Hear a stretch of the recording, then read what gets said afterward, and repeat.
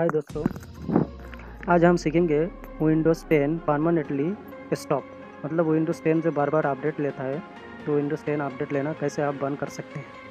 देखिए, मेरा भी विंडोज़ 10 होम सिंगल लैंग्वेज है। तो चलो, सीखते हैं वीडियो को स्टार्ट करते हैं। पहले आपको जाना है वाईफाई कनेक्शन जहाँ पर वाईफाई कनेक्शन इस पर क्लिक करना है। क्लिक करने के बाद एक प्रॉपर्टीज़ दिख रहा है आपको, इस पर क्लिक करना है। जैसे आप क्लिक करोगे तो यहाँ पर लिखा है मेटारेट कनेक्शन और उसके बाद लिखा है सेट एज मेटारेट कनेक्शन तो इसको ऑफ़ रहेगा आप लोगों के विंडोज़ टेन में तो इसको ऑन कर देना। है इसको ऑन करने से क्या होगा? आपका जो डाटा है बहुत ही कम खर्च होगा।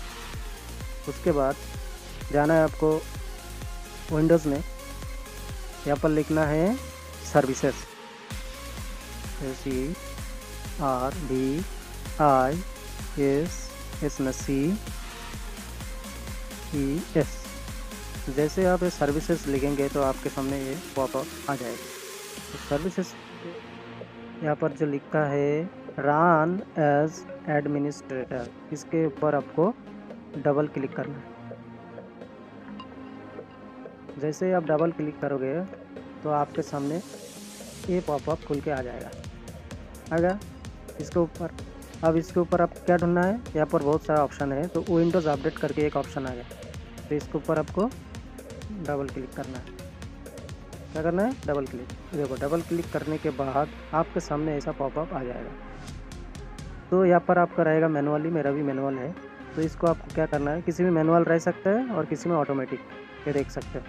तो आपको जो नीचे वाला ऑप्शन है डिसाबिलेक्ट डिसाबिलेक्ट तो इसके ऊपर आपको क्लिक कर देना है। उसके बाद ये नीचे जो दिख रहा है पॉपअप अप्लाई ऑप्शन पे क्लिक करना है। अप्लाई कर दिया। अब इसको स्टॉप करना ज़रूरी है। तो ये स्टॉप कर दिया। तो अभी ये पॉपअप हो गया स्टॉप स्टॉप हो जाने के बाद आपको यहाँ पर क्या करना है? ओके ये हो गया आपका विंडोज़ अपडेट आप मतलब उसके हिसाब से नहीं लेगा।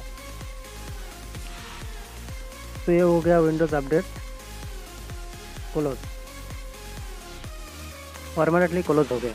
ये तो हो गया आप लोग विंडोज़ अपडेट परमानेंटली क्लोज करना सीख गए। इसके बाद आप चालू कैसे करेंगे? मतलब विंडोज़ अपडेट लेते रहे, जिसका कोई मतलब बंद करना ज़रूरी नहीं है। विंडोज़ अपडेट उसको में जाएँगे, यहाँ पर लिखेंगे सर्विसेज़ जैसे सर्विसेज़ लिखेंगे, इसके ऊपर आ गया पॉपअप तो उसके बाद जाना है रन एज एडमिनिस्टर जैसे आप जाओगे तो इस, आपके सामने ऐसा पॉपअप आ जाएगा। आपको क्या ढूंढना है यहाँ पर? विंडोज़ अपडेट डब्लू ढूंढना है डब्लू जैसे नीचे आ जाओगे, ये आ गया विंडोज़ अपडेट ये देख सकते हो, ये विंडोज़ अपडेट करके। देखो मेरा डिसेबल्ड है। तो इसके ऊपर आप डबल क्लिक करोगे तो फिर से आ जाएगा ये पॉपअप तो जैसे ये पॉपअप आ जाएगा तो आपको क्या करना है?